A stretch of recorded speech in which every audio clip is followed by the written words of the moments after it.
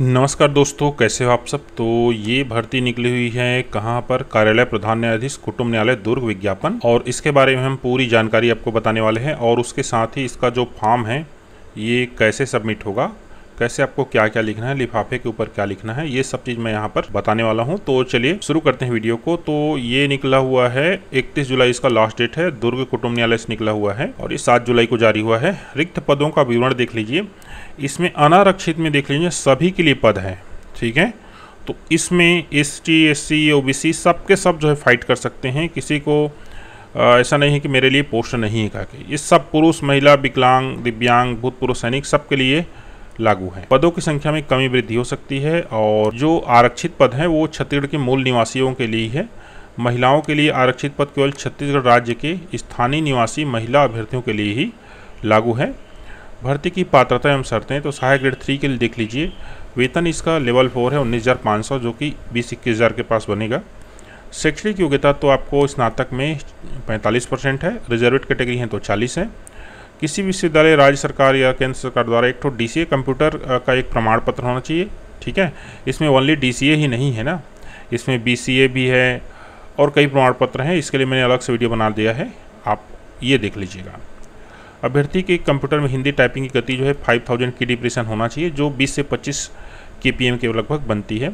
वाहन चालक के लिए देख लीजिए तो पेमेंट वही है, आठवीं आपको उत्तीर्ण होना चाहिए, आपको पास एल होना चाहिए, अर्थात लाइट मोटर व्हीकल ड्राइविंग का आपके पास लाइसेंस होना चाहिए। आदेशिका वाहक के लिए देख लीजिए तो इसके लिए भी योग्यता आठवीं है और सेवा का कार्य करने हेतु तत्पर आवेदित पद से संबंधित कार्य के अनुभव का प्रमाण पत्र ये हो तो संलग्न करें। भृत्य फर्रास के लिए देख लीजिए तो पाँचवीं की परीक्षा आपको उत्तीर्ण होना चाहिए। और बारहवीं से अधिक योग्यता आधारित जो अभ्यर्थियों के आवेदन पत्रों पर विचार नहीं किया जाएगा। इसी में पेच है ना? इसको नीचे जो है आवेदन जब भरेंगे तो आपको बताएँगे।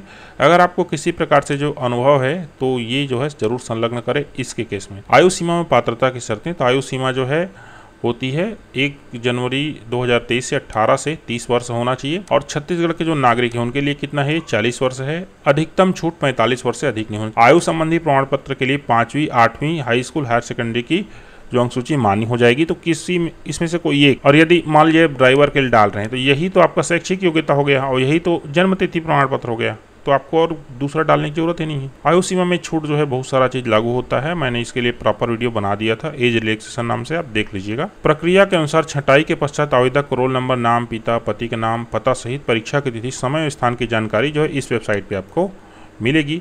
प्राप्त आवेदन पत्रों की छटाई की प्रक्रिया मापदंडों भर्ती कमेटी, सब कमेटी द्वारा वर्णित किया जाएगा, जो अंतिम होगा। यदि किसी कारणवश अभ्यर्थी को परीक्षा की सूचना विलंब से प्राप्त होती है तो उसकी ज़िम्मेदारी कार्यालय की नहीं रहेगी। बिना हस्ताक्षर के प्राप्त आवेदन पत्र विचार नहीं किया जाएगा। कौशल परीक्षा के लिए अभ्यर्थी को किसी प्रकार से यात्रा भत्ता नहीं दिया जाएगा। अभ्यर्थियों की संख्या अधिक होने की स्थिति में कौशल परीक्षा में शामिल करने हेतु आवेदन की शॉर्ट टेस्टिंग की जाएगी, जिसका मापदंड नीचे बताया गया है। अभ्यर्थियों की संख्या अधिक होने की स्थिति में कौशल परीक्षा एक से अधिक पाली में ली जा सके आवेदन पत्र प्रस्तुत करने की प्रक्रिया। आप लोग इसी में सब गड़बड़ करते हो। वो प्रिंटेड वाला आवेदन पत्र ले तो इतना सारा लिखा रहता है, अरे ज़रूरत नहीं है भाई, कोरा लो ना। देखो क्या बोल रहे हैं। आवेदित पद का नाम है, आवेदित का वर्ग लिखा हो, बस। उसमें अपना पता लिख रहे हो, कार्यालय का पता लिख रहे हो ये सब मत लिखो ना भाई, जितना बोला है उतना करो ना। दिनांक 31 जुलाई की संध्या पाँच बजे के उपरांत प्राप्त होने वाले आवेदन पत्रों पर विचार नहीं किया जाएगा। इसमें स्पष्ट है ना ड्राफ्ट बॉक्स में आपको डालना है। किसी प्रकार से उसके ऊपर पता नहीं लिखना है जिससे वो पोस्ट में जाएगा। सभी जो प्रमाण पत्र है उसकी जो है अभी प्रमाणित प्रति संलग्न करना आवश्यक है। इसका तात्पर्य है स्वप्रमाणित, है ना? ठीक है? निर्धारित प्रारूप में ही आपको आवेदन जो है भरना है।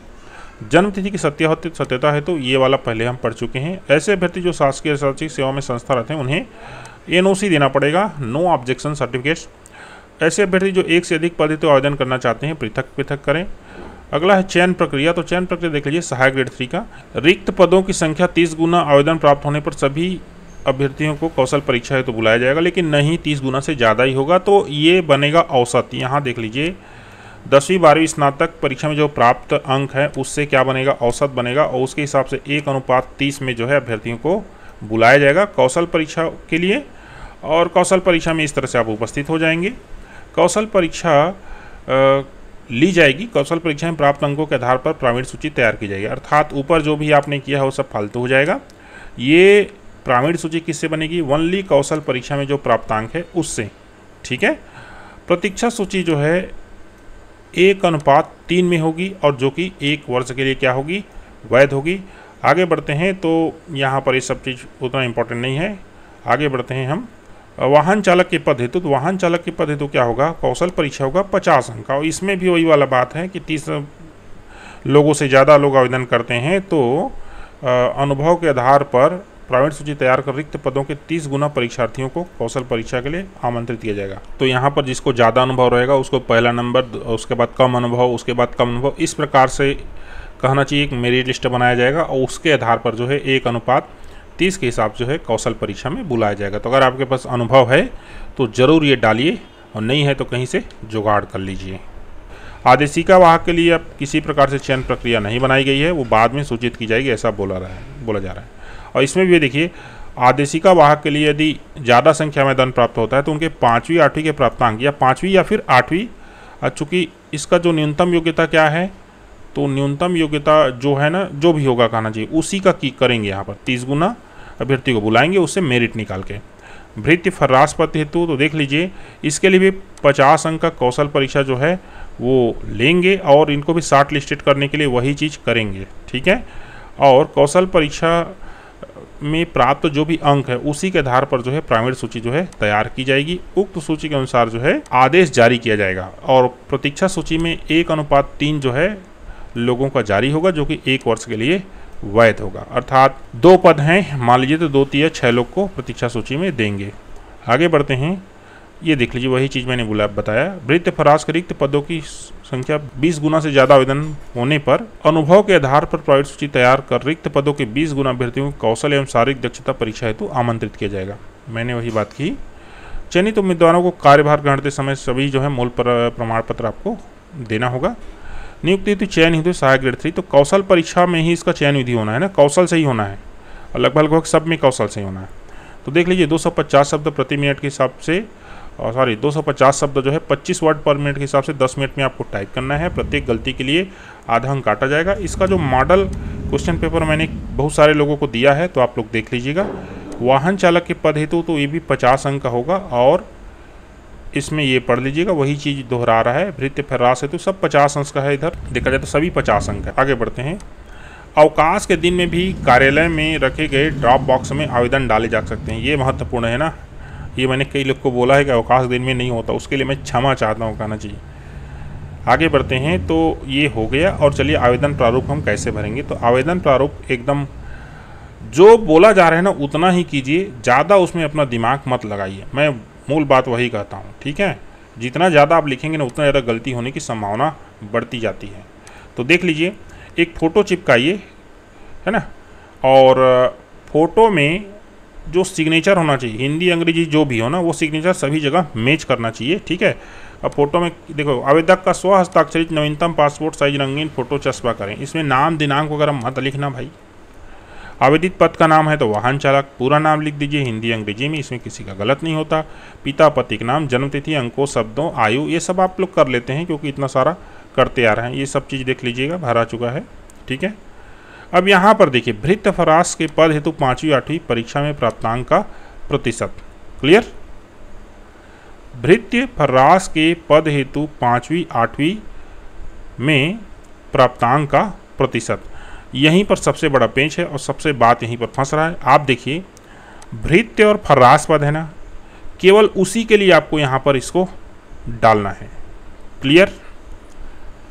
और जो लोग भृत्य फर्रास पद के लिए नहीं डाल रहे हैं, और दूसरा एक और चीज़ आपको मैं बहुत ज़रूरी बात बताता हूँ, भृत्य और फर्रास पद के लिए क्या बोला है? यहाँ पर देखो, बारहवीं से अधिक योग्यताधारी अभ्यर्थियों के आवेदन पत्रों पर विचार नहीं किया जाएगा।